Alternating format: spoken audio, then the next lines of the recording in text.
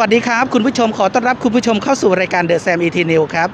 คุณผู้ชมครับวันนี้ครับโนอาได้รับเกียรตินะครับ มาอยู่ที่สถานีกลางบางซื่อครับ เรามาดูกันนะครับว่าคนไทยให้ความสำคัญในการฉีดวัคซีนครั้งนี้มากน้อยขนาดไหนกันครับ เราไปดูกันเลยครับ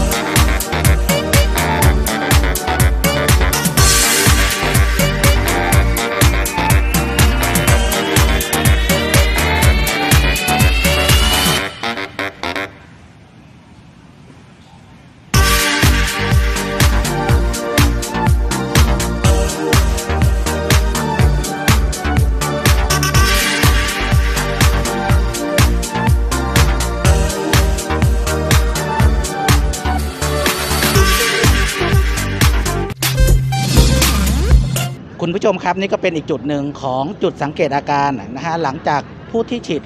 วัคซีนต้านโควิด -19 กันแล้วนะครับ เดี๋ยวเราไปดูบรรยากาศข้างในกันครับ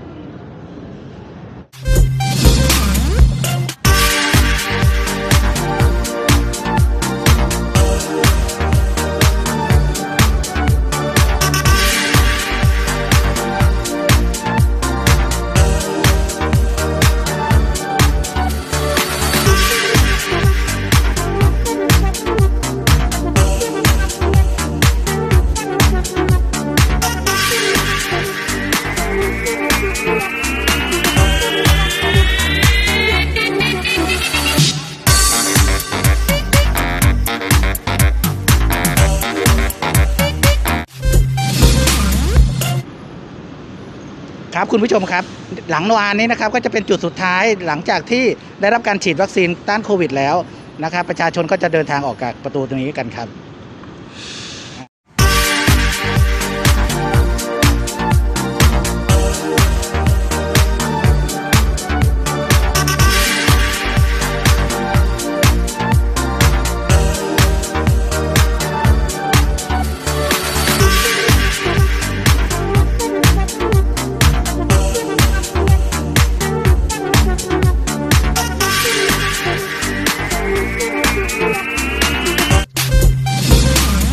เป็นอย่างไรบ้างครับ คุณผู้ชมต้องบอกว่าคนไทยให้ความสำคัญในการฉีดวัคซีนต้านโควิด ครั้งนี้กันอย่างมากเลยนะครับเรียนเชิญพี่น้องคนไทยนะครับ ออกมาฉีดวัคซีนต้านโควิดกันนะครับ เราเชื่อว่าประเทศไทยกลับมาแน่นอนครับ พบกับรายการเดอะแซมอีทีนิวได้กับโอกาสหน้าครับ